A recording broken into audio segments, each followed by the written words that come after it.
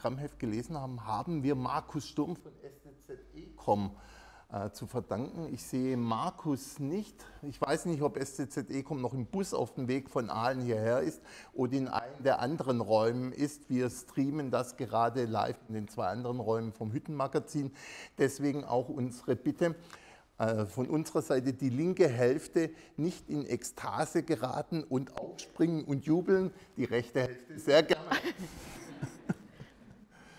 Ja, ähm, Markus Stumm hat mich gefragt, macht ihr etwas für die Azubis, für äh, Digital Aliens? Wollt ihr den Digital Aliens nicht mal Print und Publishing, was denen natürlich weitgehend fremd ist, äh, etwas nahe zu bringen? Und da dachte ich, ja, und ich wüsste nicht, äh, wer es besser machen könnte als Nina.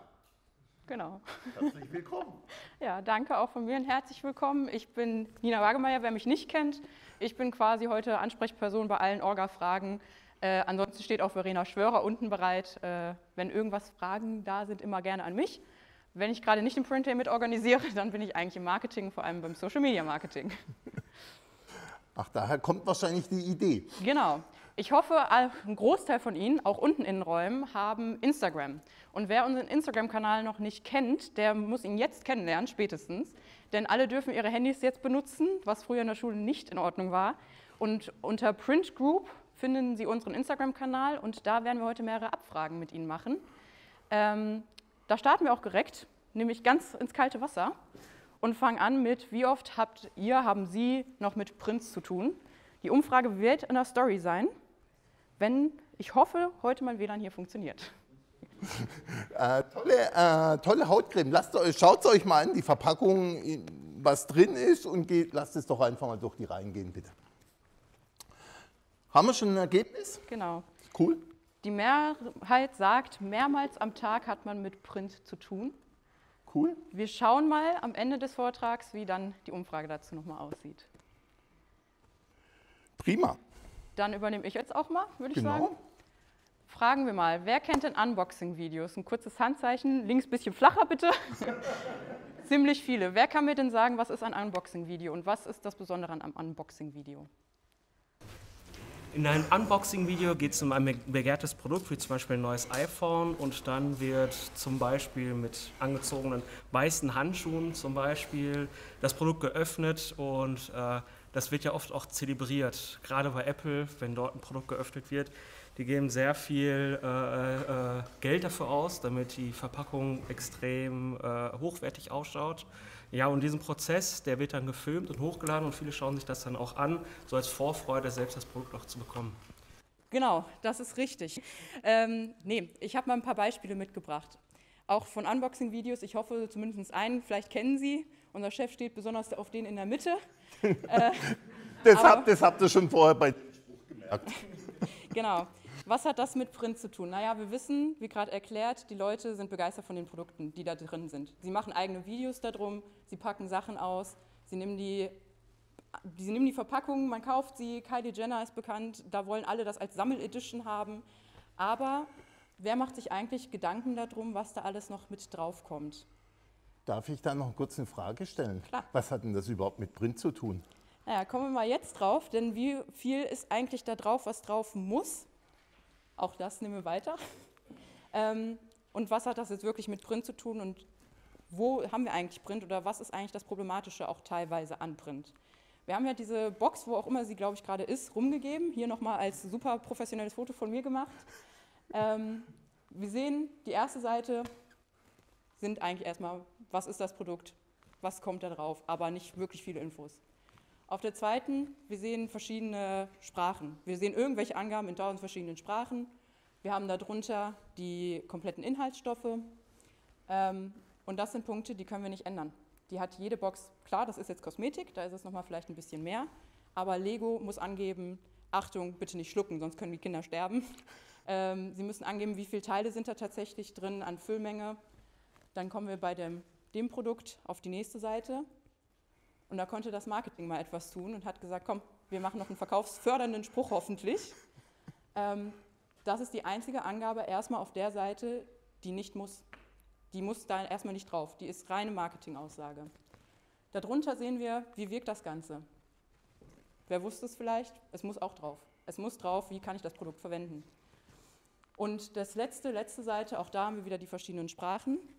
Und unten komplett Füllmenge, es muss tatsächlich Füllmenge drauf und nochmal Angaben zum Hersteller auf unserer Sprache.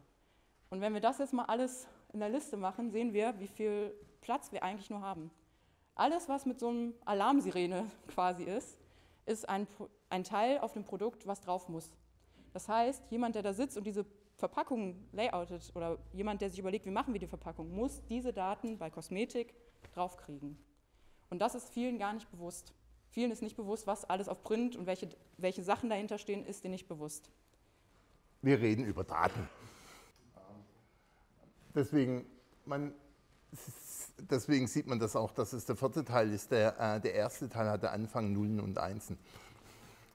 Ähm, ja, und Nullen und Einsen wäre dann zu einfach gewesen. Ähm, das ist natürlich das Synonym für Daten und ähm, wir haben das schon vorher ja angesprochen, dass wenn man die Verpackung anschaut, dass das eine Unmenge von äh, Daten sind, weil jede kleine äh, Zusatzstoff ist natürlich ein Datum, das gepflegt werden muss in verschiedenen Sprachen und natürlich äh, sind die gesetzlichen Richtlinien in den verschiedenen Ländern äh, auch unterschiedlich. Also ein sehr, sehr komplexer äh, Prozess und man muss natürlich diese Daten, äh, man muss mit diesen äh, umgehen. Und naja, ein, ein größerer Teil weiß, äh, in welchen Systemen man das macht. Das ist in den sogenannten PIM-Systemen, also in den Product Information Management Systemen und in anderen Systemen. Und da haben wir auch heute einen tollen Vortrag vom Hamburger, der für die Einsteiger auch eine Übersicht gibt, welche Systeme es gibt, so in der Welt, die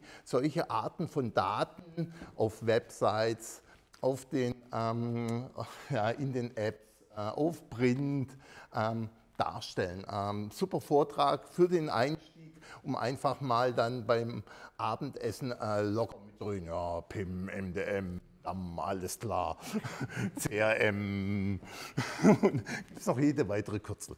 Ähm, kann man danach äh, sattelfest diskutieren, Vortrag vom äh, Hamburger und natürlich ist auch eine wesentliche Frage, wie diese Prozesse dahinter stehen. Darum beschäftigt sich eigentlich heute und morgen der Print Day um den Change-Prozess der äh, Prozesse, auch dort äh, spannende Vorträge.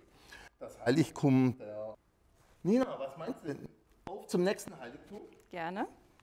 Und da gibt es jetzt für alle im ersten Raum hier oben, haben den besten Raum gewählt, denn sie kriegen alle hier was aus der Tüte, dürfen sie sich einfach rausnehmen. Aber dazu habe ich eine Frage, ich fange mal einfach hier an, einfach ein Rumgeben bitte. Denn jeder hatte hoffentlich schon mal so ein Tütchen in der Hand. Für alle, die es nicht gesehen haben, es ist Haribo. Es gibt natürlich auch andere tolle Marken. ähm, genau, aber da habe ich jetzt eine Frage zu. Denn wer hatte schon mal so ein Tütchen in der Hand, wenn also, einmal im Handzeichen? Ich sehe, glaube ich, fragen wir mal andersherum, wer hatte so ein Tütchen noch nie in der Hand?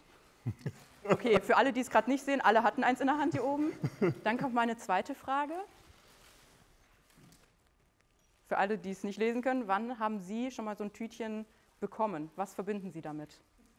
Einfach gerne reinrufen, ich wiederhole es dann nur fürs Mikro. Kindheit. Kindheitserinnerung, kam hier vorne. Belohnung, höre ich noch? Vielleicht noch einer? Ja? Warenpaketen. Warenpaketen, okay. genau. Also eigentlich, ich kann vielleicht von mir selbst sagen, ich kenne es von meinen Kindergeburtstagen, da wurde das von mir immer sehr freudig wie Kamelle geschmissen zum Leidwesen meiner Mama. Äh, deswegen, Emotionen spielen natürlich auch einen ganz, ganz wichtigen Punkt. Denn, wenn du schon mal weiterklickst, wenn wir ein Produkt sehen, ist es eine ganz, ganz sachliche Entscheidung. Es ist ein Produkt, brauche ich es? Vielleicht ja, nein. Aber wann kaufe ich es denn? Ich kaufe es bei Haribo zum Beispiel, habe ich das jetzt für Sie gekauft und habe gedacht, boah, schön, kriegst du hoffentlich auch noch was ab, mal gucken, ob es reicht, ähm, wie früher. Und das ist eigentlich ein Teil dahinter. Also die Emotionen spielen einen total wichtigen Punkt bei Print und deswegen wollen wir das auch noch mehr triggern. Aber jeder von uns, manche haben Kindheitserinnerungen, der anders wird an Belohnung erinnert. Wir wollen natürlich die Leute auch genau da abholen. Und deswegen geht es immer wichtiger, dass wir personalisieren und mehr die Leute wissen, okay, was sind deren Punkte? Wann kaufen sie denn unsere Produkte? Wann genau weiß ich denn oder wie kann ich diese Emotion antriggern? Und das ist ein ganz, ganz wichtiger Punkt bei Print und der noch dazukommende, wichtigere Punkt sogar, dieses Erlebnis, was Sie nämlich jetzt gerade durchs Krüsseln hören, dieses Reinpacken, Anfassen, das kann nur Print. Digital, was kann man vielleicht in Zukunft vielleicht was anfassen, aber momentan, wir sehen es, wir können es nicht anfassen. Wir haben das Gefühl, ich habe das gleich in der Hand, ich kann das gleich essen, Vorfreude haben wir nicht. Können wir so erstmal nicht schaffen. Deswegen das Heiligtum der Emotionen. Was denkt ihr? Hat Nina noch eine Abstimmung für euch? Ich höre ein leises Ja. Genau, wieder auf Instagram, wieder auf unserem Printkanal, gleich in der Story, je schneller ich tippen kann. Ähm, durch welches Werbemittel werden Sie, wirst du auf ein Produkt aufmerksam? Eher Print oder digital? Das ist auch ein bisschen synonym. Wir haben jetzt 18 Monate Corona hinter uns und haben eine Digitalisierungswelle erlebt. Und wir haben sehr viel digital gemacht. Das ist sicherlich super, aber auch 18 Monate, finde ich, hat irgendetwas gefehlt. Und zu guter Musik jetzt unabhängig ob Country und Western, wie man das mögt, eine coole äh, Rhythm and Blues Band gehört, denke ich, auch dazu. Deswegen ist das natürlich auch, und das sagen auch alle Statistiken und alle Umfragen und alle Untersuchungen, der Mix der einzelnen Medien und der einzelnen Kanäle und der Touchpoints, ob das jetzt rein digital ist, ob das Print ist, in welchen der Form ist, die, die, der Mix macht es in der Customer Journey, in der Experience beim Kunden wenn er von der, von der Beratung, vom Interesse beim Kauf und bei der After Sales ähm, unterstützt wird äh, auf allen Touchpoints. Deswegen ein bisschen der Film, dass man sagt, hey, pure digitale Kommunikation ist sicherlich nicht ausreichend, wir brauchen noch ein bisschen Rhythm and Blues. Wie sieht es mit den Abstimmungsstimmen soweit? Haben cool. wir. Das ist ein ziemlich klares Ergebnis, denn 80 Prozent haben gesagt, sie werden durch den digitalen Kanal auf Werbemittel, also auf digitale Werbeplattformen bzw. durch digitale Werbemittel auf neue Produkte aufmerksam. Überrascht dich das jetzt, das Abstimmungsergebnis? Ein bisschen, ein wenig. Okay. Denn wenn man sich mal die nächste Slide anguckt, haben wir uns nämlich mal gedacht, gucken wir doch mal, was die Statistiken sagen. Ähm, das ist jetzt allerdings von 2014 aus der Schweiz, gab es eine Befragung zwischen 15 bis 59-jährigen Personen, die gefragt worden sind, wie werden sie vorrangig auf interessante Produkte oder Marken aufmerksam. Und das ist zwar von 2014, aber es gibt auch neuere ähm, Auswertungen, auch im Dachmarkt, die einen ähnlichen Trend haben. Und da haben nämlich, an zweiter Stelle haben wir eigentlich Werbung durch Print. Das heißt, viele, wann sind sie schon mal auf der Straße gewesen, haben ein Schild gesehen, haben das abgespeichert und waren im Geschäft und haben gedacht, guck mal, irgendwo habe ich das schon mal gesehen. Ziemlich häufig und das kriegen wir gar nicht mit. Klar, es gibt die neuen Medien, wie ich jetzt mit Social Media zum Beispiel. Ich kriege da auch ganz viele Anzeigen, aber im Alltag kriege ich doch viel, viel mehr mit von Print. Und das zeigt auch die Statistik, dass der Trend eigentlich eher ist, okay, wir haben zwar noch TV-Werbung, anscheinend funktioniert die noch immer am besten, ähm, aber am zweiten Platz Print. Finde ich schon überraschend, sicherlich ist der Metatrend anders. Äh, wir haben nachher noch mal eine Statistik aus den USA, die ähm, aus einer anderen Perspektive, aber etwas relativ Ähnliches sagt. Äh, aber bevor wir darauf einsteigen, Nina, hast du noch eine Abstimmung für uns? Natürlich, immer. Das, diese Überraschung immer. Jetzt müssen Sie mich eine Sekunde mehr tippen lassen, aber die nächste Umfrage, die Sie jetzt gleich wieder auf Instagram finden werden, muss ich eben fotografieren. Wie lange verarbeiten Sie oder ihr Informationen auf einer Webseite? Natürlich schätzungsweise, ähm, was so der Eindruck ist. Wir hatten heute schon einen netten äh, Kameramensch, der gesagt hat, drei Sekunden. Äh, von daher sind wir mal gespannt, was da kommt. Aber Horst, ich glaube, du hast in der Zeit, wo ich die Umfrage einrichte, ja, was vorbereitet. Ich habe was vorbereitet. Geht auch äh, in die Richtung der Verweildauer. Wie lange dauert die Gegenwart? Ziemlich gut. Hängt von den Psychologen, äh, von den psychologischen Modellen ab zwischen 1,5 und 2,5 Sekunden.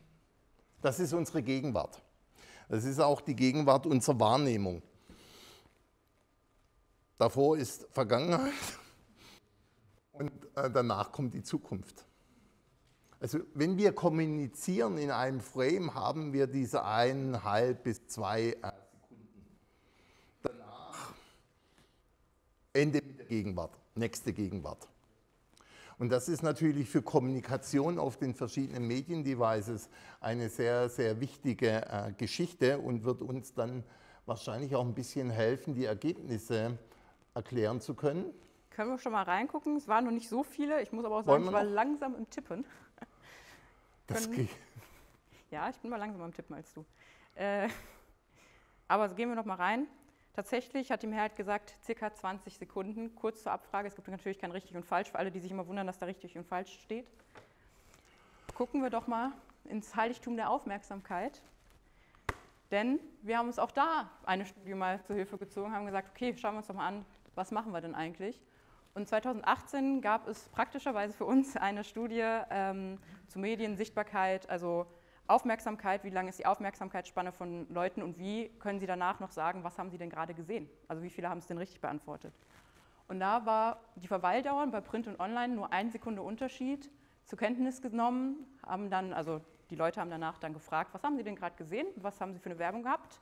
Davon konnten bei Print 7,5 Prozent die Frage richtig beantworten. Bei Online waren es nur 1,4 Prozent, die die Frage richtig beantwortet haben.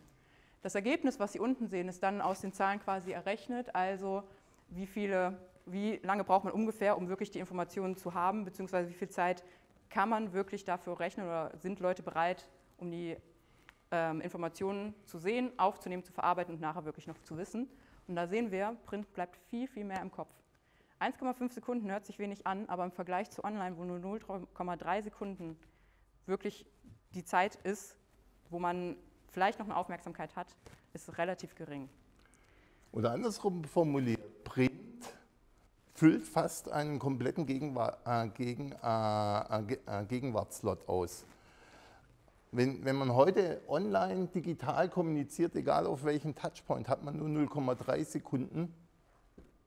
Deswegen habe ich eingangs bei der Tonprobe, vielleicht habt ihr, habt ihr das gemerkt, wo ich gefragt habe, was ist das mit dem Tinder, mit dem Wegwischen? Äh, das sind genau diese 0,3 äh, Sekunden.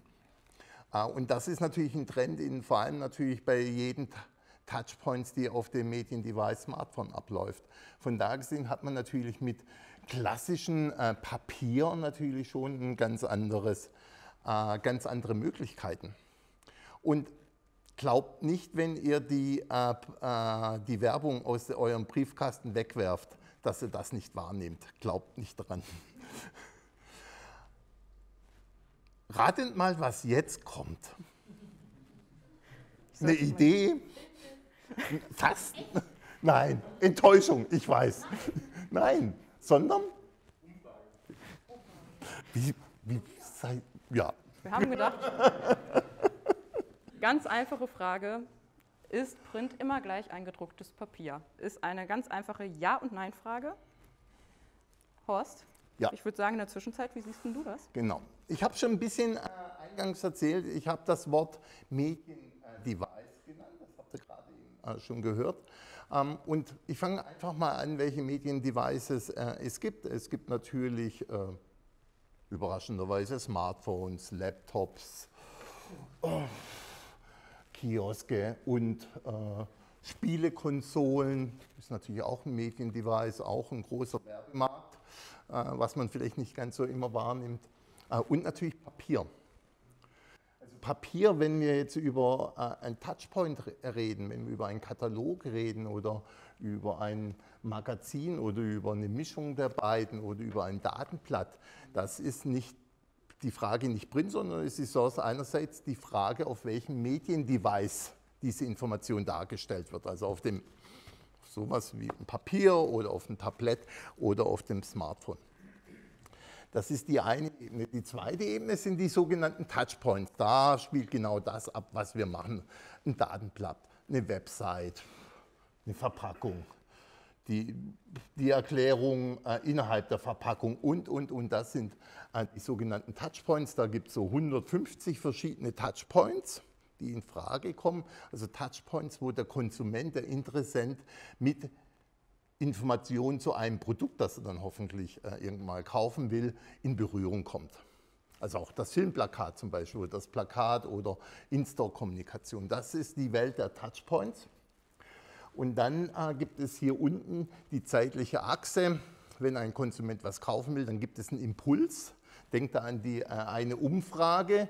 Äh, wenn, also wenn es gerade jetzt kein Bedarfsmittel ist wie äh, Waschpulver, wenn ihr glaubt, haha, ich bin da jetzt auf eine super Idee gekommen, etwas zu kaufen.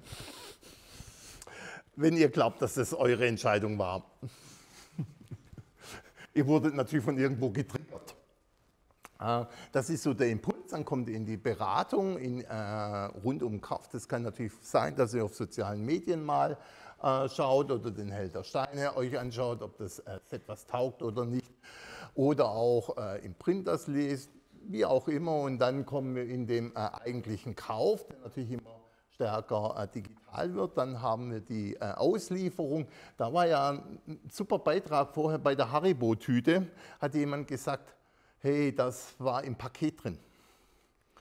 Ähm, das ist natürlich auch bei der Auslieferung, jetzt macht das Haribo-Tütchen zur Belohnung, ist natürlich eine super Sache. Aber da können dann natürlich wiederum äh, individualisierte Angebote im Paket sein. Also so gesehen, Fritz äh, Herberger würde sagen, äh, äh nach dem Kauf ist vor dem Kauf und nehme ich dann wiederum in die, äh, in die After-Sales-Marke. Das ist so ein bisschen wie der Unterschied zwischen Touchpoints und Mediendevice. Also wenn jemand sagt, hey, Print ist tot, dann äh, ist natürlich die zentrale Frage, ist die zentrale Frage, ist das, äh, reden wir über das Mediendevice, also über das Papier, oder reden wir über einen Touchpoint, wie zum Beispiel ein PDF-Dokument, das auf einer Website äh, herunterzuladen ist. Das sind zwei völlig unterschiedliche Aufgabenstellungen. Beides hat natürlich was mit Print zu tun, weil was ist die, das Charakteristika vom Papier neben der Haptik und dieser Emotionalität, über der wir gesprochen haben? Ähm, das Thema ist, äh, wir können das nicht lesen, ähm, nämlich die Herausforderung, äh, begrenzte äh, Informationen auf einen begrenzten Platz zu bringen. Hoffentlich lesbar. Ähm, und das ist die hohe Kunst des, äh, vom Print. Das ist das, was wir seit 300 Jahren gelernt haben, wie wir Informationen auf den begrenzten Platz Papier gebracht haben. So, jetzt an die Digital Natives. Was hat das jetzt mit einem Smartphone zu tun oder mit meinem Medienverhalten, das stark digital geprägt ist? Es hat sehr viel zu tun, weil äh, wenn man sich so die, die digitalen Mediendevices anschaut, der Platz wird immer geringer. Also früher waren die Bildschirme groß, dann kamen die Laptops, waren ein bisschen kleiner und jetzt wurden äh, viele Laptops, dann kamen die Tablets und die wurden dann durch die Smartphones äh, kannibalisiert. Also auch die digitale User Experience muss sich immer mehr beschäftigen, wie sie gibt ja auch nur 0,3 Sekunden, wenn ihr euch daran erinnert, wie man begrenzte Informationen auf ein digitales Device bringt. Wir haben da auch einen spannenden Vortrag morgen vom Herrn Wosniak von Vago, der sich in dem Bereich Datenblätter auch unter anderem um dieses Thema errangt. Deswegen das äh, zu, äh, zu dem Thema. Und ich glaube, wir haben viele Experten, denn tatsächlich haben 83 Prozent gesagt, nein, Print ist nicht immer gleich eingedrucktes Papier. Ich glaube, das trifft keine Aussage, die du eben hattest mit, wir haben ja auch PDFs und so ganz gut. Ja. Ich sage immer, mit der Print-Seed werden 97 äh, Prozent der Dokumente, die gerendert werden, sind digital, die kommen gar nicht mehr auf die Druckmaschine. 3 Prozent sind noch äh, durch das Mediendevice Papier, was aber ein super Mediendevice ist, haben wir ja schon darüber gesprochen. Haben wir noch? Haben wir noch äh, eins? Ich glaube schon. Wir haben noch eins. Bevor wir die letzte, versprochen die letzte Umfrage, nämlich dieselbe Umfrage von ganz am Anfang. Jetzt schauen wir mal, ob der Vortrag gewirkt hat oder nicht. Hast du denn in der Zeit noch ein Heiligtum für uns? Ja, ich habe immer noch ein Heiligtum.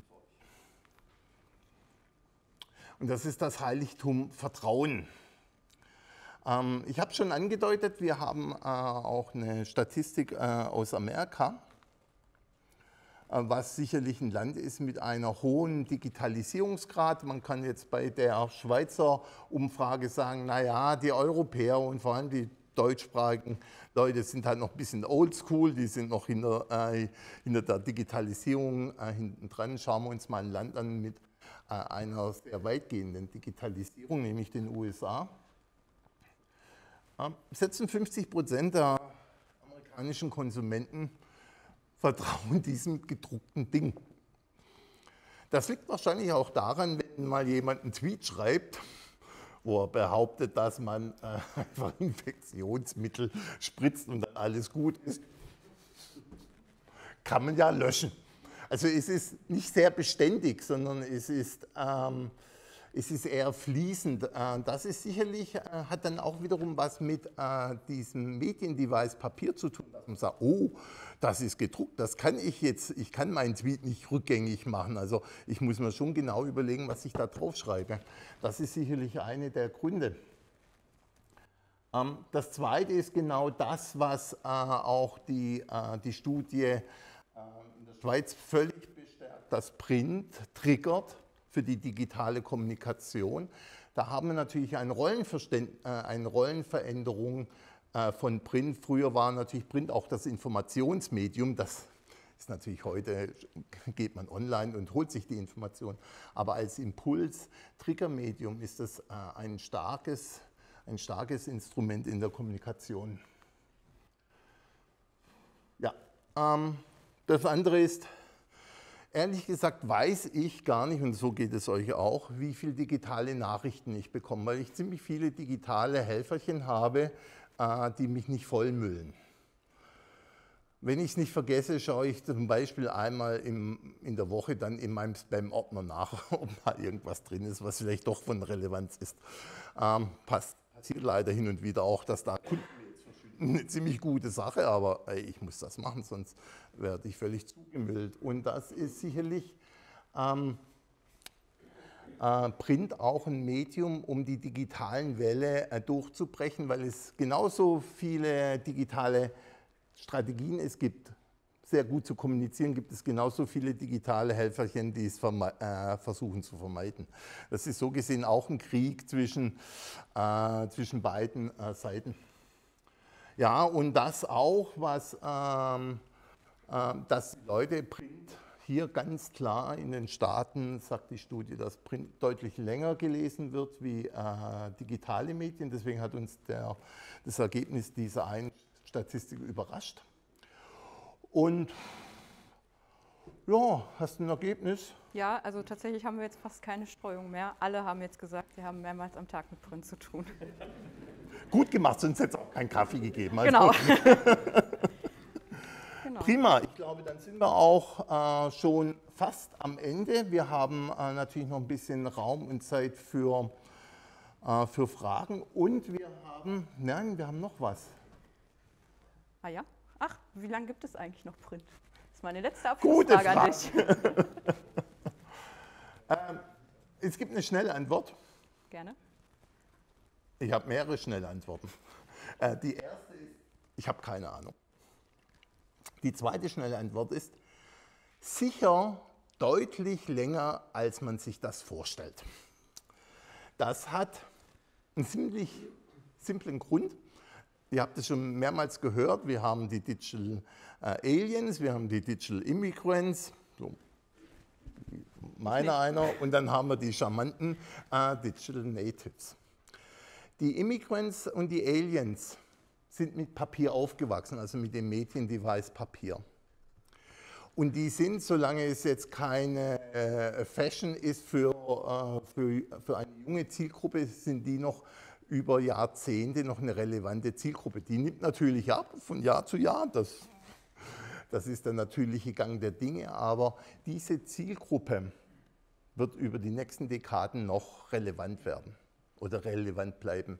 Von da gesehen, wenn du jetzt keine äh, Produkte hast für junge Menschen, musst du in der Kommunikation auf dieses erlernte Medienverhalten Rücksicht nehmen. Das ist das eine. Das zweite ist, wenn man sich auch die, äh, auch die Mediendevices anschaut, der PC wurde durch den Laptop kannibalisiert, weitgehend. Der Laptop hat Konkurrenz bekommen durchs Tablet. Und dann kam das Smartphone. Also die digitalen, dann kommen jetzt irgendwann gibt es die Renaissance der Google Classes, da müssen wir, brauchen wir nur noch drauf warten. Also die digitalen, äh, die digitalen äh, Mediendevices kannibalisieren sich.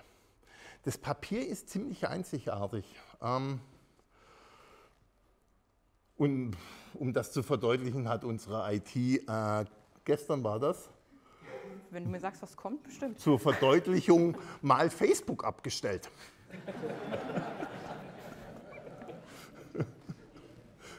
Ich weiß nicht, ob Sven da ist. Guter Job, Sven.